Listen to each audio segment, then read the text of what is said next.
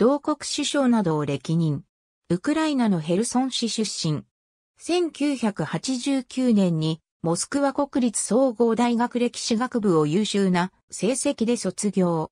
1994年、歴史学の博士号を取得。1994年から1995年までジャーナリストとして働く。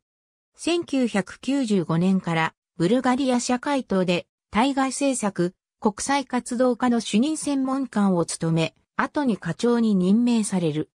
2000年に国際問題担当書記として、ブルガリア社会党最高会議、最高会議執行局に入った。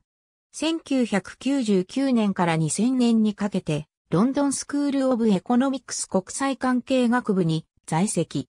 モスクワ政治研究学校の学位も有する。2001年6月、ルセ選挙区から議会大議員に選出。同年12月15日、ブルガリア社会党最高会議議長に選出。議会会派、ブルガリアのための連合の議長を務める。2002年6月、ブルガリア社会党総裁に再選出。同年から欧州社会党幹部会の常任議員。ブルガリア社会党はスタニシェフの総裁時代2003年10月に社会主義インターナショナル2005年5月に欧州社会党のメンバーとなった。2005年6月、ブルガス選挙区から議会大議員に選出される。